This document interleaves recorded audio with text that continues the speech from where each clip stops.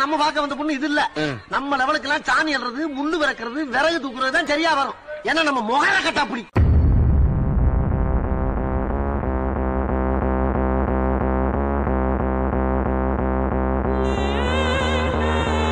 நீ இப்படி எல்லாரும் எடுத்தறிஞ்சு பேசிட்டு. ஒரு நாள் யார் மேல நம்ம தனிமரமா நிக்க போற? இங்க பாரு சாபம் விடுறா. நான் தனிமரமாவே இருந்துட்டு போறேன். நீ வேணும்னா நாலஞ்சு பேரோட தோப்பா இருப்பா. நாங்க அழுகுறப்பெல்லாம் ஆம்பளை பசங்க அழுவ மாட்டாங்கன்னு சொல்றாங்க. அழுவுறியே நீ பையனாடா உனக்கு தைரியம் இருக்கான்னு கேக்குறாங்க. அவங்களுக்கு நாங்க சொல்றது ஒண்ணுதான். எங்களுக்கு எங்க மனசுக்கு எங்க உக்காந்து அழுகணும்னு தோணுதோ அங்க கூட சிரிச்சிட்டு வந்துடுறோம். தைரியம் இல்ல. இங்க பேர் சிகரெட்டு? சிகரெட்டா? நான் சிகரெட்டை பற்றி ஒன்று சொல்லிட்டா என்ன மச்சான்? சிகரெட் அடித்தா கிழவனே ஆக மாட்டோம். என்னது? சிகரெட் அடிச்சா கிழவன் ஆக மாட்டோமா? ஆமாம் எப்படி? ஏன்னா நம்ம சின்ன வயசுலேயே செத்து போயிடுவோம்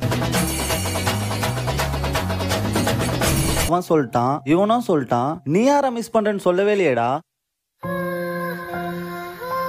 என்னதான் மச்சான் மிஸ் பண்றேன்? புரியல மச்சான்.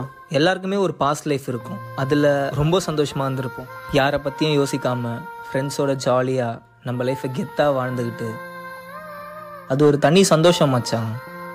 ஆனா எப்போ நம்ம அந்த விஷயத்த பண்றோமோ அப்பவே நம்ம லைஃப் அப்படின்னாடா பண்ணுவோம்? லவ் பண்ணுவோம். தூங்க விடலையே என்ன கடலை போட்டு தூங்க விடலையே.